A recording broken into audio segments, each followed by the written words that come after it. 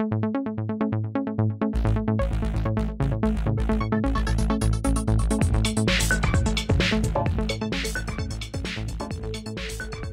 everybody. Welcome to Talking Fitchburg on this Tuesday, May 24th, 2022. I'm Jeremy Crosby, and you're tuning in for a jam packed today. We got a busy show for you. Yesterday was a busy day in Fitchburg. We had a lot of events going on, uh, including we had uh, the uh, Town of Madison meet and greet event. Tell that Delta Beer Lab will take you out there to that event. We had the pinning ceremony yesterday afternoon for the Fitchburg Police Department, and there was an open house for the Teen Center project. So it was a busy day yesterday, and uh, our staff were busy everywhere uh, covering these events. We'll go through all of those here today on TF. So let's get your headlines. And we start with the Memorial Day service. It'll be held on uh, Monday, uh, May 30th. Join the city for the annual Memorial Day service. It's going to be starting at 12:30 p.m. at Gorman Wayside Veterans Memorial Park. That's located at 2377 South Fish Hatchery Road. And if there is uh, a chance for rain, it'll be moved to Fitchburg Fire Station number one on Lacey Road. We'll share those details if the uh, location change. Also, trash and recycling service will be delayed due to Memorial Day holiday. Uh, residents will be served one day later than their normal service day during the week of May 30th due to the Memorial Day holiday. For additional information, you can check our website, fitchburgwi.gov, under refuse and recycling. Turning our attention to Badger Prairie Needs Network and their food pantry curbside pickup. I thought I haven't shared this information in a while. The updated hours on that, the Badger Prairie Needs Network uh, serves food uh, insecurity households in Dane County. Please uh, be aware that we are taking steps to keep our volunteers, guests, and community safe in response to COVID 19. We are only offering curbside service, and the curbside service hours uh, are uh, as followed on your screen uh, Tuesdays 10 a.m. to noon, Thursdays 11 a.m. to 6 p.m. Fridays 10 a.m. to noon, Saturday 10 a.m. to 12:30. Closed on Mondays, Wednesdays, and Sundays. Please arrive at least 15 minutes before we close. If lines are getting to capacity before closing time, we'll need to cut off the queue even earlier than 15 minutes before closing. You can always contact the Badger Prairie Needs Network. Their number and address are on their website. We'll share the link as well. All right, uh, happening yesterday, uh, one of the many great events uh, taking place uh, around the was the town of Madison meet and greet session held over at Delta Beer Lab. Businesses got to learn a little bit more about the city of Fitchburg.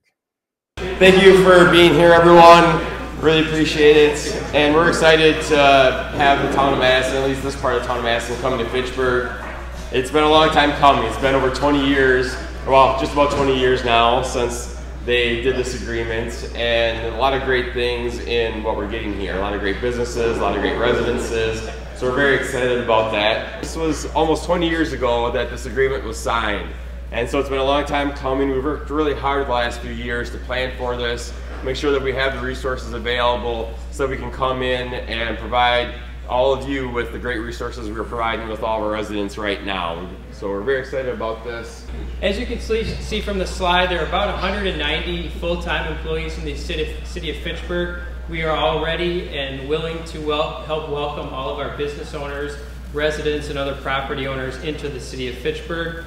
We take pride in providing a high level of quality customer service from our economic development department to our highway department to our public safety department, finance, assessing, parks, rec, uh, take your pick. We have uh, a really good team here in Fitchburg. Many of our employees and department heads are here tonight, uh, so feel free to mingle with them. Senior Center is also one of those departments, as is our FACT TV. I'm getting some looks about giving some additional love to other departments, so I'll try to try to try to acknowledge those requests. So really just consider the chamber a resource. We welcome you guys to Fitchburg. Obviously, most importantly, we want you to feel connected, and um, so we'll be making sure that you are connected.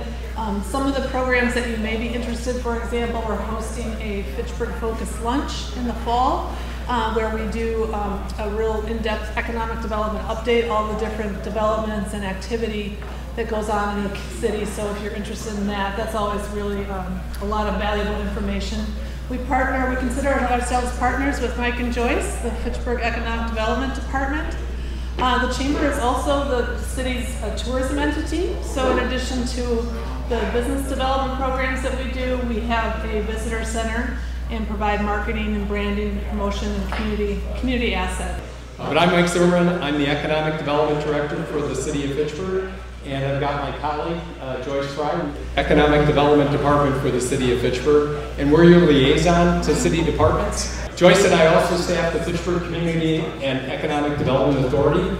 And for some of the small businesses uh, that are that are out there today. Uh, we have a local revolving loan fund uh, program that's available to our businesses. Uh, we also are part of the venture debt program uh, through the Madison Development Corporation. Uh, we administer the hotel room tax with our partners, the Fitchburg uh, Chamber of Commerce Visitor Business Bureau. And we also utilize the local economic development tool that you might be familiar with, tax increment finance. And one of the things that we're talking about is in about a year or so coming back into this area and creating a brand new tax increment district to be a local economic development tool to continue to drive economic development in this area. Uh, so welcome to the city of Fitchburg. We're excited to have you as part of our Fitchburg business community. But thanks again for coming out tonight. Thanks to Delta uh, Beer Lab for hosting us, and thanks to our partner at the Fitchburg Chamber as well have it. We'll get the full video posted up online for you so you can check out that.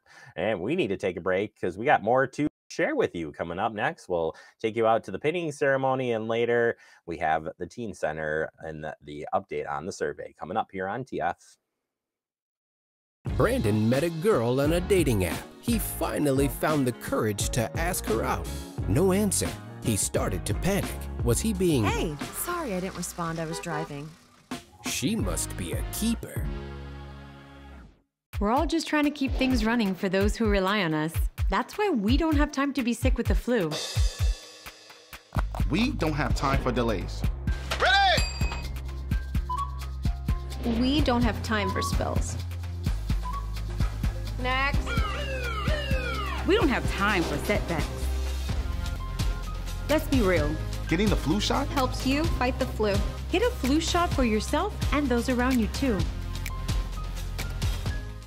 Welcome back into Talking Fitchburg in the digest, and today we're going to be taking you out to yesterday's Fitchburg Police Department pinning ceremony. Four new officers took the oath and got pinned by their loved ones. Take a look. This is truly a very exciting day for me to see some of the new people coming into our force and joining our family here in Fitchburg you see all the other people here to support you, and most importantly, your families. And that's really, I think, the key thing to me. I like to think of us here as a family, but we can't do that without the support of all of you at home. So thank you all for being here. We really appreciate it. Welcome to Fitchburg. And I'll turn it over to Chief to get things going. Thank you, Mayor. Thank you very much. And really, thank you all for coming here. One asks, why do we do a celebration such as this? Why uh, acknowledge the start of a career or, you know, promotion sometimes? Uh, why do we do this? Or why don't we do this if we haven't done it before? Uh, it's about life. We're going to acknowledge somebody shortly who is going to be ending his career with the Fitchburg Police Department. And I can tell you that a life in any career, we're going to talk about law enforcement, it goes as quickly as a blink of an eye. And soon you run off to either another career or you retire into another chapter in life. And you reflect upon the time that you had given in law enforcement. And we're going to talk about law enforcement. It's a selfless job. It's a job that you do to serve. That simple. You serve others. It's an important job, and you can see how easy your actions can take on a national, uh, a national uh, response. Okay, what you do out there is looked at through the microscope, litigated in courts. And at the end of the day, it falls down to you serving and protect. You do the best that you can to help others. Many of you come on this job right out of high school or college. When you were brought up, you're brought up to be selfish, right? Your parents serve you. Your parents provide you food, shelter, and clothing, and an education. Your parents go out of their way to make you comfortable. And there's a time in life when you change that switch to forgetting about yourself and sometimes ultimately paying the sacrifice of giving yourself up for someone else. I want uh, Doug Heimrow to come up.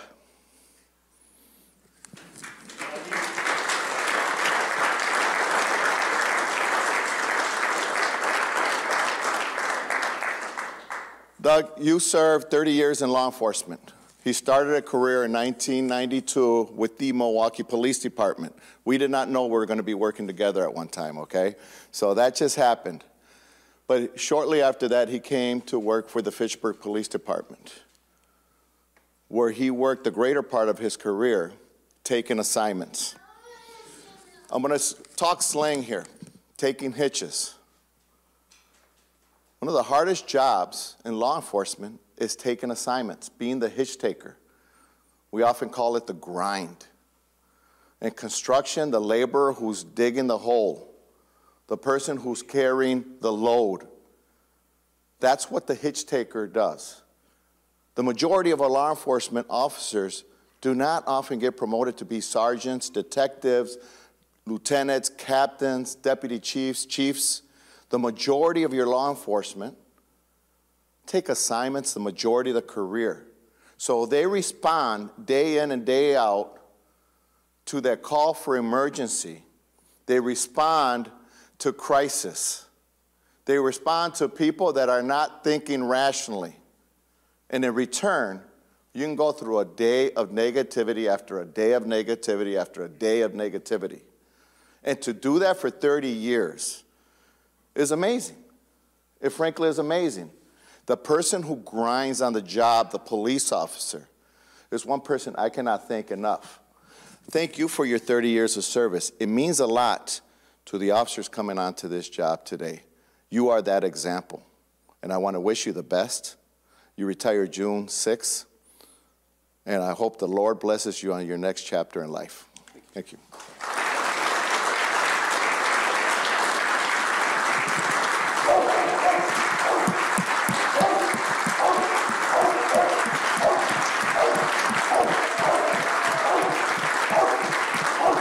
we all, you, joining the police department today, will be has-beens at one time.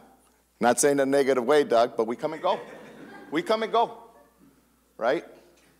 The, the, the, the, the grind continues to go, and the only thing that changes is the names. But what you take out of this is going to be much more valuable than that pension. I say this to you because you're coming onto a job now where you don't look at the long term goal. You look at the four years, three, four years, and see what your next uh, gig in life is going to be. But if you don't plan, plan it correctly, you will not have an end game. And I wish you the best. I pray for you that you enjoy the camaraderie. We will build that team. We will build that community centric uh, department so we know that we're serving the people that support us. I have to tell you, in my 28 year career, I have never attended a meeting, lastly, hence the Police and Fire Commission meeting, where a resident of the city of Fitchburg in public uh, session took time out of her day to meet with the commissioners and thank law enforcement for our service in their community. That was amazing. In 28 years, I have never seen that. You work for a community that's going to respect you, that admires you, and supports you. Remember that. Remember that when you are soon in the grind and you are responding to those assignments and things aren't going well at home, right? We all go through those times. Or things aren't going well in your life. But remember, there is an end game. And what you do here, you will take with you. Build that legacy. Good luck to you all, and God bless you.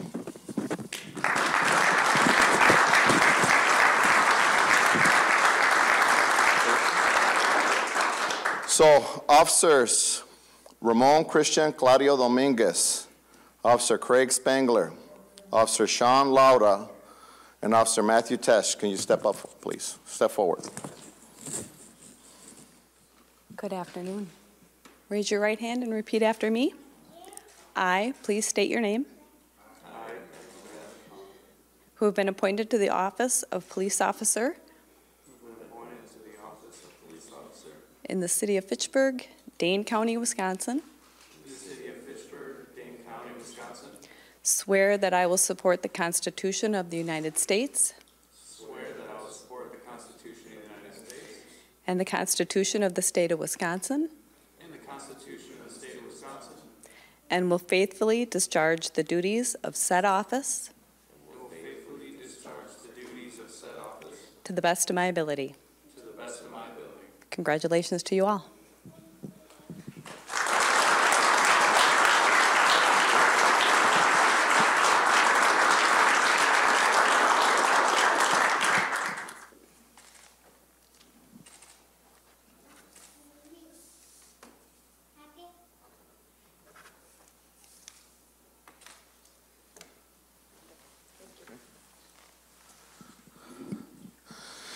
And we'll start uh, with uh, the two who recently graduated from the Police Academy.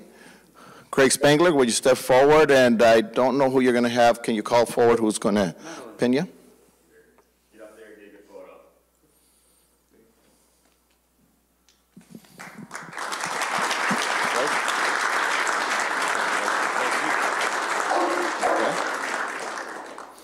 Ramon Claudio?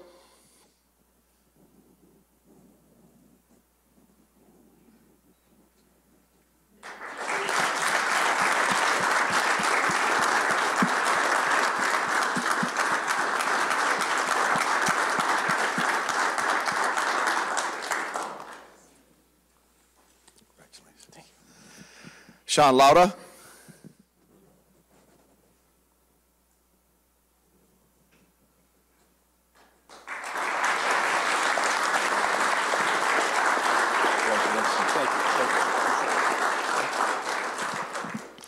Matthew Tesh. I have my father. Great.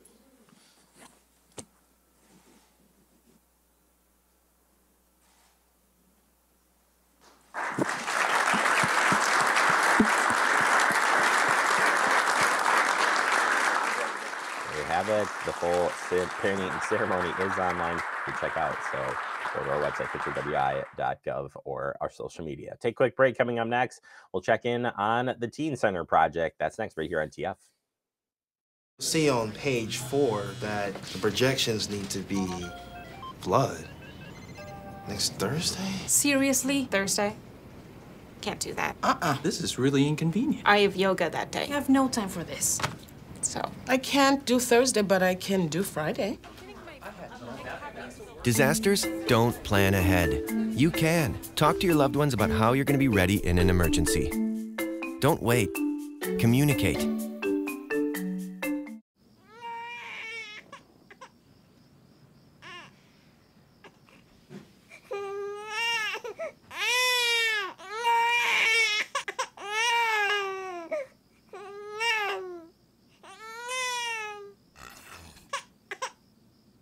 If you love them enough to suck the snot out of their nose at 4 a.m., then surely you'll check nhtsa.gov slash the right seat to make sure they're in the right car seat.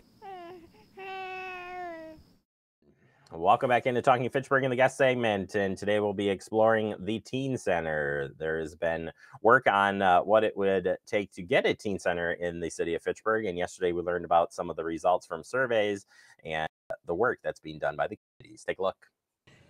Hi, everybody. Uh, my name is Joe Maldonado. Um, I am uh, on the City Council in Fitchburg. I just want to take a moment to welcome you all to the uh, Teen Center um, Public Workshop. Uh, this has been a long time coming.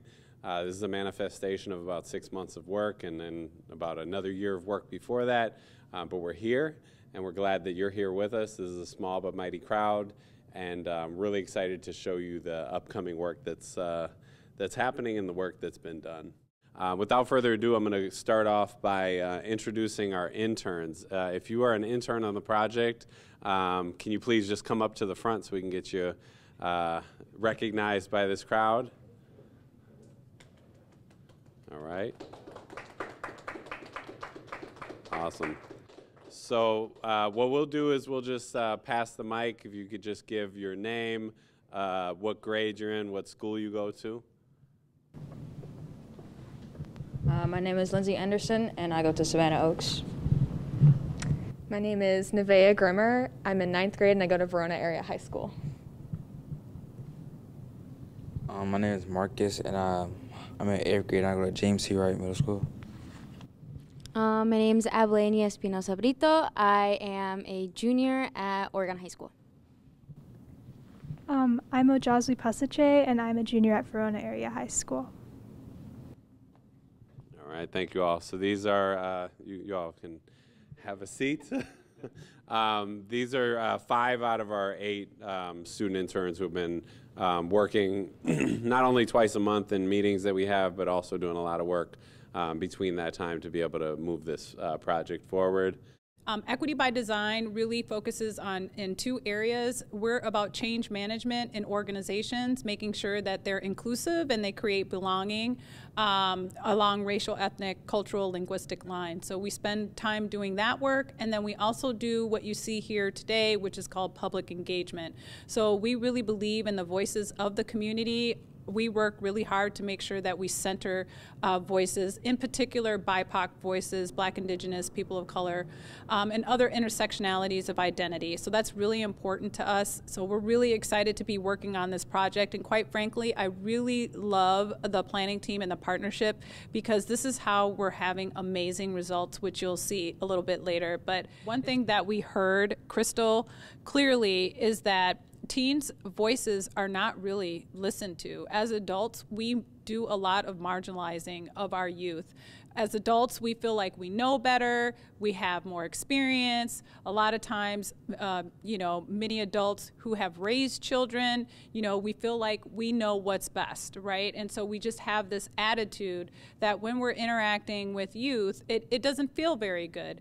And we have to realize as adults that as adults, we have places and spaces that we can go to to get rest, to um, you know pour back into ourselves, to be able to get the energy to renew ourselves, to be to feel fresh, to be able to have the energy, to just you know have a you know have a good life you know if you're fortunate you know to to be in that space. So we don't go to work expecting that it's at work that we're going to get uh, rejuvenated, right? Like we look to our home or we look to friends and family and going and doing things and interacting with people, right? As adults, we do that. What we don't understand as adults is that what do teens have that's similar? As adults, we think that school is that. And that's not true school for teens is like work for adults. And I, I just think that we kind of lose sight of that. And so, school, yes, it can be a place of meeting up with friends, but really it's designed for learning. So, when we're talking about our youth who are going from you know, really young, uh, young little people like elementary age, and now during their teen years, they're expected to become adults just like that. It's a very stressful time between the age of 11 and 18 and even getting to 21 and beyond. So, where do they go to really understand themselves, right? Um, where do they go to learn, to grow, to develop? Um, and to rest and just have a space where there's no judgment, right? And have a space where they can just be with other people who are having a similar experience and might be able to relate to what's happening to them. They want a break, right?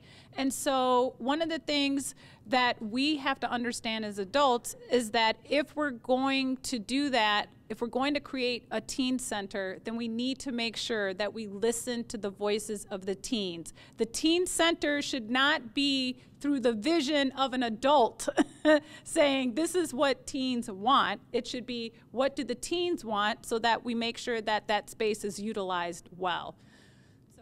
So, this is the fun stuff. What did we learn? So, for those of you who are here with us in the room, you were able to take a tour out in the gallery to see all the work that the interns have been, um, you know, curating and collating um, since this project started. the key, key piece is that we, like we said, we did a focus group, and then we did two surveys, um, and then we listened to the interns. And so what you're going to see today is a culmination of all of that. So what did the interns say? So as you know, we have eight interns, and what the interns said is that what they really want to focus on in terms of values is valuing mental health, um, creating a safe space. Um, diversity is really important. Um, community and connection is really important. Um, educational resource support um, was important. Student growth, um, space for fun, and can compromise.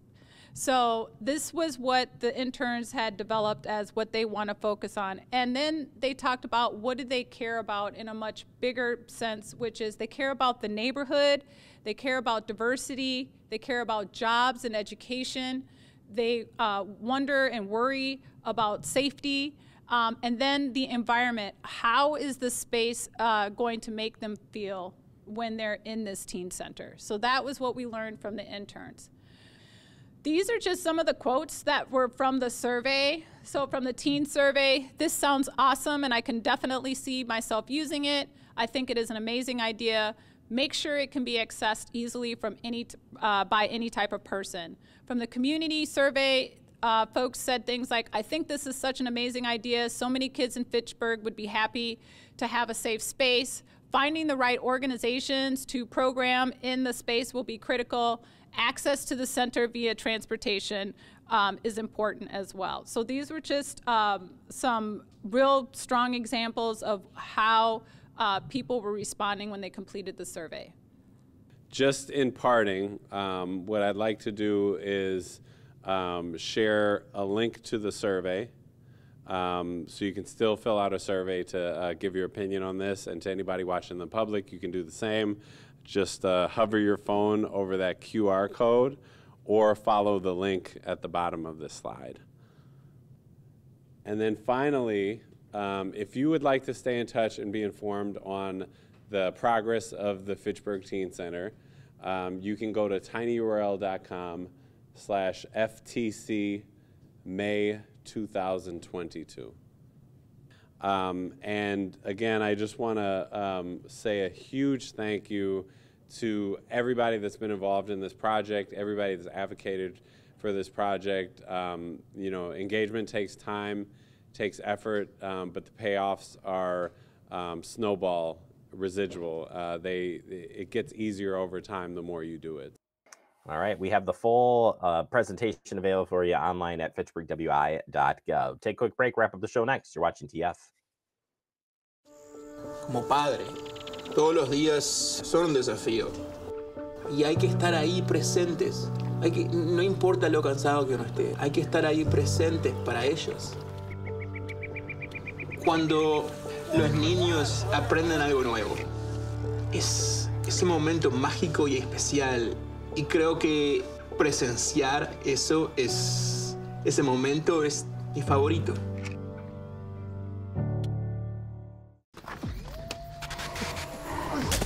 Multiple studies have shown that marijuana can slow both driver reaction and response time, which can be really dangerous. He's here. He's here. Wait, wait, wait. What? I can't drive. Why? My.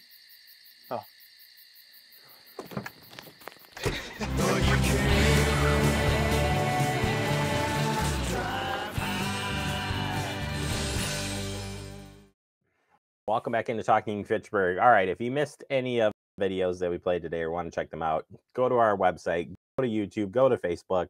We have them there available for you. You can check those out. And of course, stay connected with Fact TV through all of our media outlets. And have a wonderful day. See you back here tomorrow.